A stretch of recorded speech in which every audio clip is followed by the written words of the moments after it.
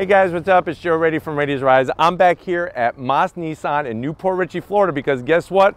We have a 2020 Nissan Maxima. So let's talk a little bit about the Nissan Maxima. Nissan Maxima, as you can see, is a full-size family sedan. There was a little term that Nissan gave to the Maxima quite a few years ago, a four-door sports car. They called it a four-door sport. They actually said 4D SC. What they were trying to get at is that even though their Maxima was four doors, it performed very, very sports car-like. Maxima basically has been around since 1976. Of course, in those early years, it was known as a Datsun, but then things would change. And with this 2020 Maxima, it harks back to that tradition of having a car that is definitely more sporty, but can we still call this Nissan Maxima, this 2020 Nissan Maxima, a four-door sports, sports car. And really, is the Nissan Maxima a four-door family car to really go up against the others like the Accord, like the Camry, the Avalon, all those different choices that you have out there. So let's go ahead and get into this Nissan Maxima. So right off the bat, 2019 was a big year. They did a restyling and that carries, of course, into 2020. They did a totally revamping of the headlight design. I like what they did with the LED daytime running lamps and also very intricate detail how the front fender melds right into the headlight housing. Now, as we come down, you do have some gloss black fake venting. If you go up the trim levels, they put fog lamps in here. Not very large, but it does take up some of the space. I am gonna zonk this. I wish this was a functional side air curtain at least, or just make it a lot smaller or just smooth. As we come across the front, this is Nissan branding. Their V-shaped grille. I don't care what Nissan you look at here at Moss Nissan, they all have that V-shaped grille design. Chrome V, there's your large Nissan badging. You have some gloss black um, grille, both top and bottom. Little bit of chrome as well across the bottom just to make it cohesive. And the rest of this is gloss black. Now, it looks really good now as new, but I'd be curious over years, how is this gonna wear? But definitely they've made a big improvement bringing the styling up on this 2020 Maxima. Now, as we go up onto the hood, you can see the body lines start on the front fascia, go up onto the hood, and then check this out. There's like a raised center section that kind of V's out and then goes towards the windshield. Gives it definitely a different kind of look than say an Avalon or a Camry or an Accord or whatnot. Now, as we come around the bend, you can see how the headlight housing wraps around. This is gonna be your standard wheel. You can get a 19 inch wheel. This is an 18 inch wheel. So it's machined uh, aluminum, gloss black. You know, it's a little bland and I would recommend going up the trim level to get the 19 inch wheel, but the color is definitely working with the actual color of the car. So uh, I could definitely say that. Now, as we go down the fender. Check this out. You have your body line here, curves down into the door, and then curves back up and flattens out. Chrome on the door handles, chrome on the bottom portion of the window frames, and then that chrome is gonna match with the chrome that's on the front of the car. Gloss black on the mirrors, larger turn signals built in. I wish they would slim these down, so I am gonna zonk that just for being a little too large, but I like the way that they blacked out the A-pillars and then we have a dual panel panoramic sunroof plus guess what? Thank you Nissan. They blacked out the whole thing. If you notice here on Raiti's Rides, there's been other brands that we've been doing panoramic sunroofs with and they, they leave the rest of it painted the same color of the car. It looks great blacked out.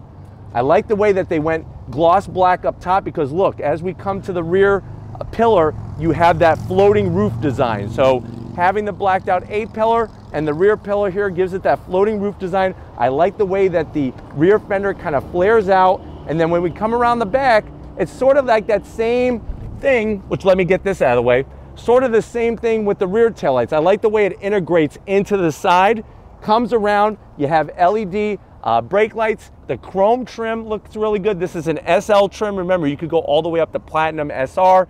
And then you're actually gonna have decorative exhaust. Now, I like the quad exhaust look. It looks almost very Mercedes-Benz AMG.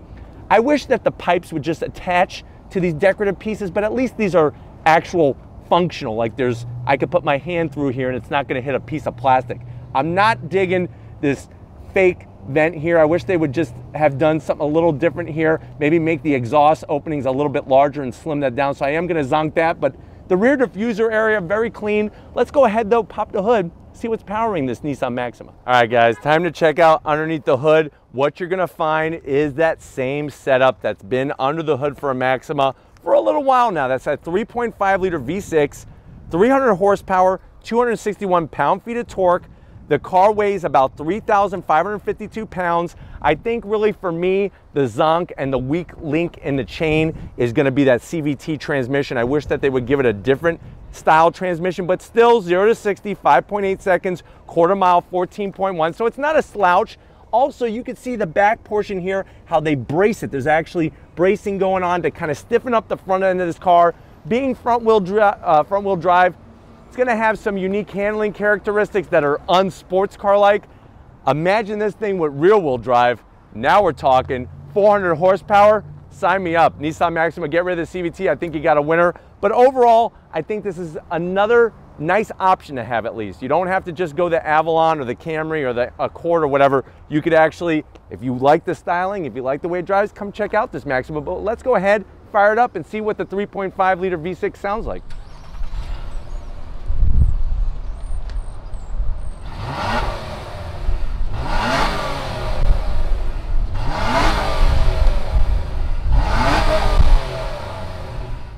Right, guys, we're inside the 2020 Nissan Maxima SL trim. I know you're probably saying, well, Joe, if you're gonna compare this to the Avalon, the Camry, the Accord, how much is this? Now, remember, this is gonna be larger than a Camry and Accord. I'm just kind of throwing those in because I know those are very popular choices for a family, uh, but you do have the Avalon and whatnot. This comes in at MSRP almost right about $40,875. Let's see what you get for the money. To the door panels. Now, I love what's going on there. Lots of different colors. I like the tan. I like the dark black. The contrast stitching looks beautiful. I even like that plastic trim that looks like metal and it's got like a diamond cut to it. I'm really digging that. So they did a great job there to bring up the fit, feel, and finish of the door panels. On the dash, you have that same soft material, the simulated stitching here, contrast, which is nice. There's that diamond cut finish in the plastic is harder here, but you're probably gonna touch here a lot more than you are down there. The AC vents nicely integrated into this raised portion. Very slim, you know, there's nothing too fancy going on. And then you have an eight inch infotainment system like you see with navigation. We could go into menu. Is it touchscreen? Of course it's touchscreen. But if you don't want to touch the screen, if you're like I have a phobia of touching uh, screens. You could just touch the buttons and that will work as well. But I got to get back to here before I could do that. So that brings us there. You have your audio controls, camera. We hit camera. You're going to be able to uh, get into different settings with your camera. There's the camera out the back. You could adjust all the options. Let me actually put it in reverse while I have Tom here. And it does give you the directional, which is nice. Um, it's a little pixelated, but at least it fills up the whole screen. I'm happy about that. Dual climate control, easy to use, easy to get to. You open up this little guy here, you have a nice deep cubby. It's actually felt lined, so if you have uh, a gold plated cell phone, you could actually have it in here and not scratch it. Uh, USB-C, a USB and an aux jack all in one, and then guess what? You close it and the lid is done.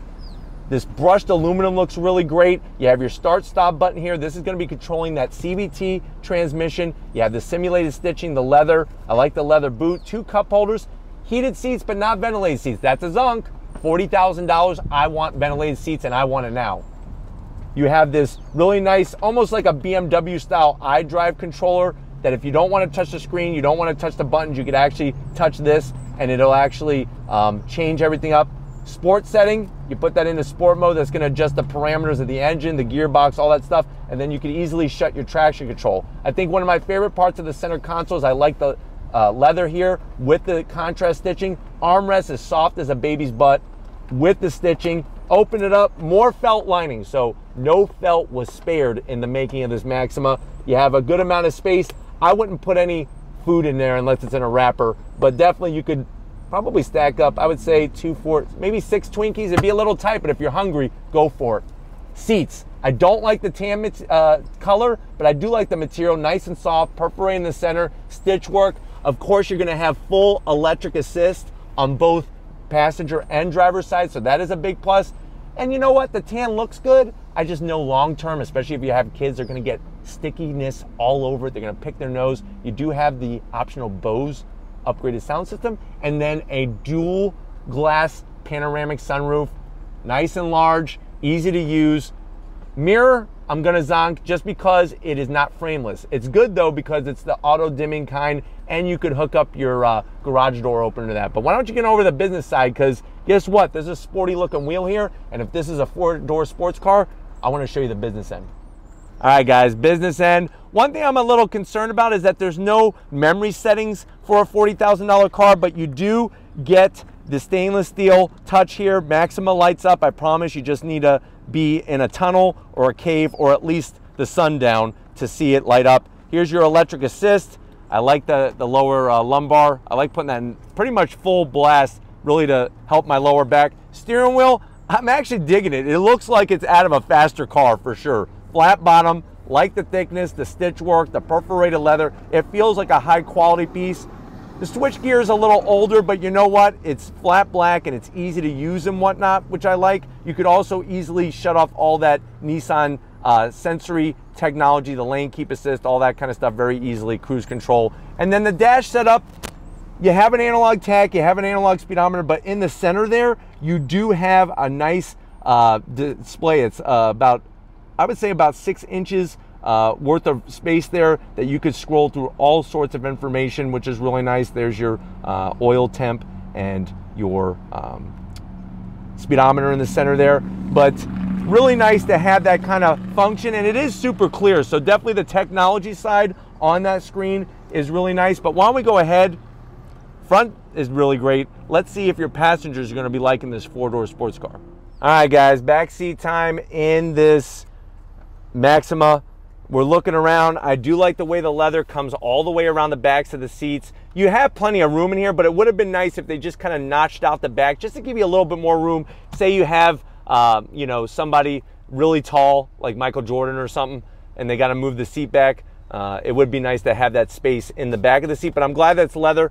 Two AC vents with some nice silver trim. You got a USB-C and a standard USB. So it's great to see that. That means they care about your technology and your stuff going dead. When it comes to the ceiling, I'm pretty good. Now, if you have a hairdo that's really tall, you might feel a little squished in here. So I'm feeling pretty good overall, but you're really just gonna have to take that into consideration. I guess my advice is sit up front, don't sit in the back. Fold this guy down, boom. Nice soft armrest, two cup holders, and then you got plenty of room here for some Slim Jims or Twizzlers, those individually wrapped ones, because we know we don't want to get sticky stuff on the nice tan um, interior. But other than that, feels really good. Let's go ahead and check out the trunk and see what kind of space we have in the Maxima. All right, guys, time to check out the trunk on the Maxima. Do you need an SUV? Let's see what kind of room we have. Now, when it opens, I'll be honest, I'm gonna zonk the actual opening. It's a little on the tighter side, but once you fight something past this opening, there is a really good amount of space Plus the floor is really low. So if you have something that's taller, you'll be able to get it in the trunk once you fit it past this opening. Um, you do have the 60-40 split and the way it works is, is you're just gonna pull these handles and that's gonna fold down the seats. These other guys are here. This is nice engineering that if you have some groceries, you can hang the bags here so all your tomatoes and Campbell soup and all that, which we are, are sponsored by, by Campbell soup, is not rolling around. But let's go ahead, take this for a spin. By the way, we're not sponsored by Campbell Soup, but let's take this for a spin. All right, guys, we just left Moss Nissan. We're in the 2020 Nissan Maxima SL trim. Let me go ahead and get on that loud pedal. It does have plenty of get up and go. The problem is with a CVT, it holds the RPM just so high that it doesn't really have the best like sound to it or does it really have an engaging feel to the drive? Uh, it's not as you're going through gears because there's no gears in a CVT transmission. All right, guys, one thing I'm noticing about driving this 2020 Maxima, first of all, the seats are, are very, very wonderful. Uh, they're not only supportive, but comfortable at the same time. And with all the adjustments you can make, you can really fit it to your particular body type. Now, I do have it in sport mode, and it's nice that they have that option, and it really does adjust the parameters of the vehicle while it's running. Also, I like the choices that they give you for that digital display in between the tachometer and the speedometer. Um, really clear, and the colors are like 21st century. Like I feel like I'm looking at a display that is definitely from recent years rather than something that's like 10 years old. The infotainment screen is a little flat, and what I mean by that, the colors aren't really working for me, um, and it's a little dated, uh, which is which is obviously going to be a zonk.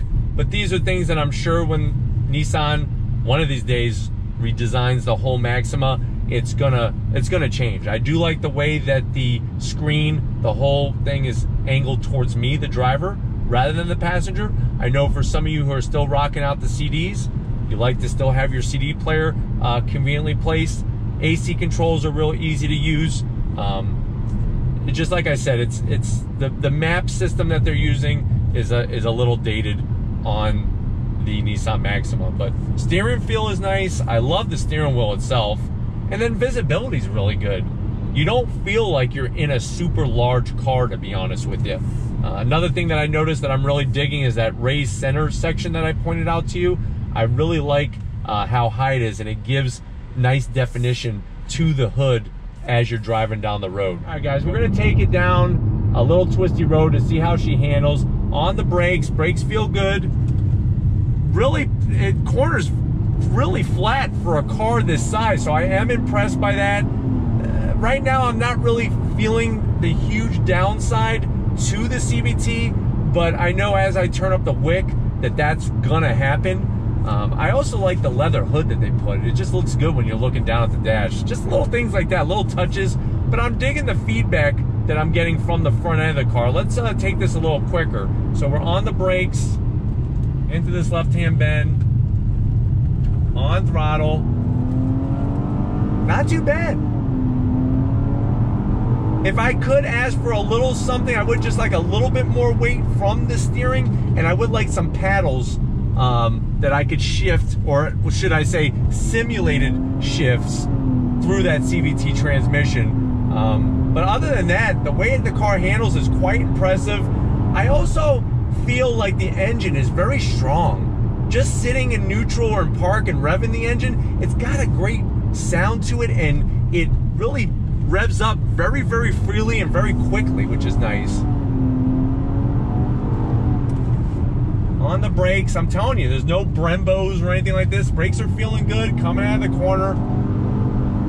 It's just that constant RPM is annoying and it just kills the overall engaging drive. But definitely this Maxima can be hustled through these bends. Really nice. Look at this. And the traction, traction control did its job without being too overbearing. I'm liking that. And I would love to put this up against some of the other competitors in its class to really see performance wise is this the four door sports car compared to the other makes and models that would be very fascinating. But definitely plenty of room up here. Visibility is great. I love having the panoramic sunroof. And overall, I think that it's a car that you'll appreciate a little bit more once you get behind the wheel. If you're just looking at spec sheets, it may not sound that impressive, but could you imagine this car, 350, 400 horsepower rear wheel drive with an actual like DCT or a 8 speed, 10 speed automatic? Sign me up sign me up. I think this thing would be a blast to drive. Still good, just not the greatest. That's what I could say. But we're going to go ahead and wrap this up and get back to Moss Nissan. So I'll see you in a split second. All right, guys. Been another wonderful day, magical day here at Moss Nissan. Definitely got to thank David Moss and the rest of the crew for allowing us access to this 2020 Maxima. Is it a car that you really should seriously consider? I would say yes. Does it have some areas where it could need some redesign, some improvement, sure, there is no perfect car, but I really think that it's great to have options and I'm hoping and I'm praying that Nissan will give it the justice that it needs and just do a full out redesign and make it that four door sports car that they claim it to be. But if it's cars like this you want to see on Raiti's Rides, leave a comment in that comment section. If you're new to the channel and you're on your way out, hit that subscribe button. I promise you it's worthwhile coming back for more. If you are a subscriber, thank you for being part of the Raiti's Rides family. If you want to help us keep making great content just for you on the channel, click the link in the description, get yourself some Raiti's Rides merch. Got to give it up to Big Guns McGee. He was here lifting the front end of this Maxima off the ground because guess what? He has a powerlifting competition coming up, going for the gold. Wish him luck. And just like always, guys, I'll see you on the next ride.